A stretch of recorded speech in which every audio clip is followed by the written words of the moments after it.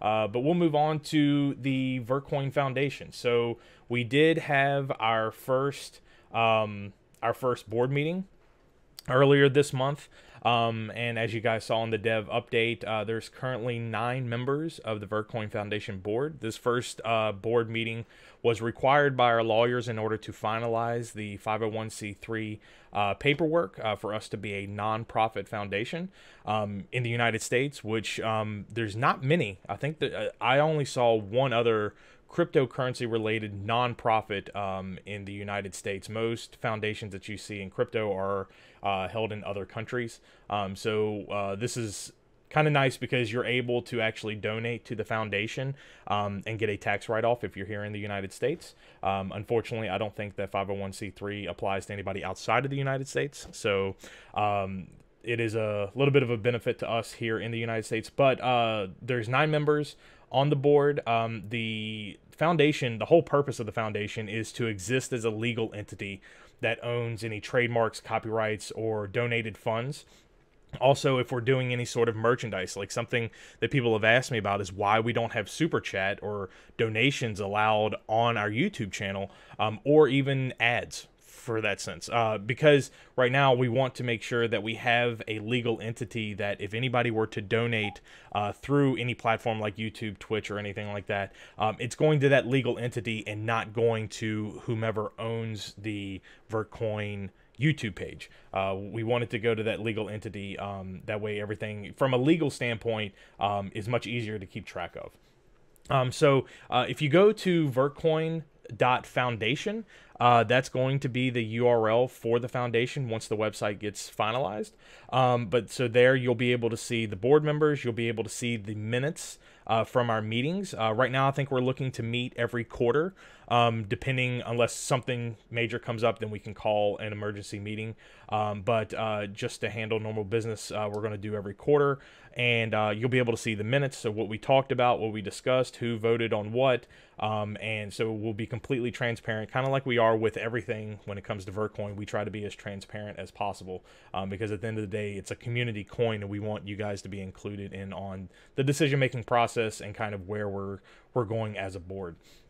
Um, so, James, did you want to comment uh, on the foundation, kind of your vision of how you're seeing it, um, and uh, and how you think it's going to benefit the project as a whole? Yeah, I mean, I think it's the the next logical step for you know scaling Vertcoin, so to speak. I mean, as time goes on, uh, and interest in Vertcoin increases, and the number of users increase, uh, it, it, becomes unrealistic uh, for myself to be the the sort of single point of failure when it comes to the project's finances and online presence and, and so on. Uh, so it makes sense now that you know we're a lot bigger than we were, you know, two, three years ago, uh, to have a separate legal entity uh, whose sole responsibility it is is to manage the development of Vertcoin, and also to you know remove legal liability from myself uh, in a lot of ways uh, on you know what happens with the donations and and you know what's on the website, that kind of thing. it makes more sense that some other entity should organize that that's larger than myself. Yeah, definitely, and especially once now that the SEC and you know these government entities here in the United States are starting to dig into crypto and starting to take a hard look at them.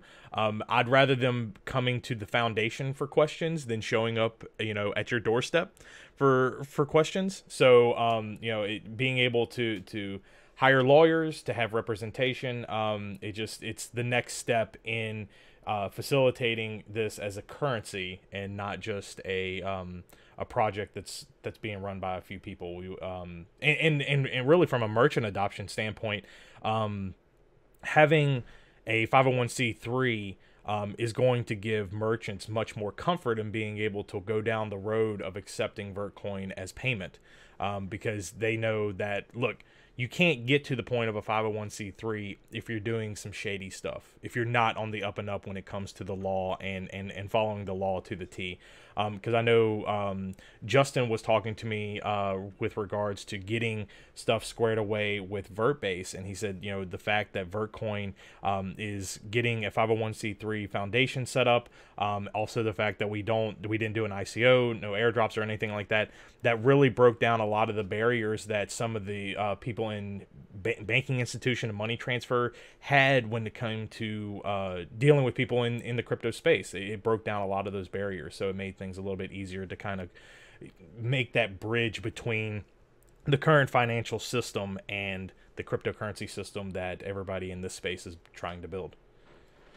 For sure, and you alluded to it before, at least in the US, um, donations would be tax deductible. Uh, so, whilst we wouldn't be able to accept anonymous crypto donations anymore, as we do at present, uh, we will be able to accept identified donations from individuals and those individuals can then uh, deduct that from their tax return. So uh, the the hope is that that might spur uh, uh additional giving from a different set of people that currently give, uh, so that we can pay for more interesting things like developers.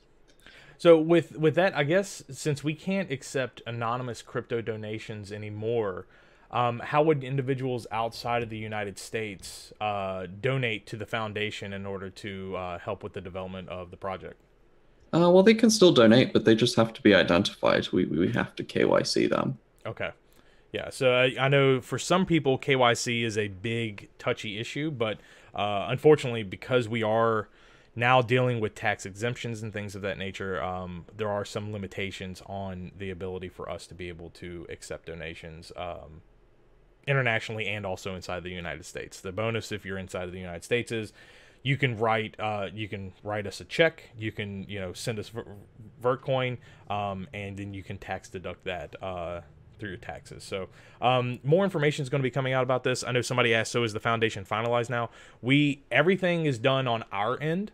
Um, we're waiting for the lawyers to file paperwork. Um, so uh, it's pretty close to being i mean we had our we had to have our first board meeting just so we could finalize officers we could finalize um, addresses and, and and things of that nature and once the lawyers file all the paperwork and come back and say you've been recognized by the IRS as a 501c3, then we can move forward with setting up uh, bank accounts and any other sort of uh, internal infrastructure that we need to set up in order to have the foundation uh, good to go uh, to uh, allow for donations and tax exempt uh, donations here in the United States. Um, so it's very close. we're just waiting on the lawyers to wrap up their end.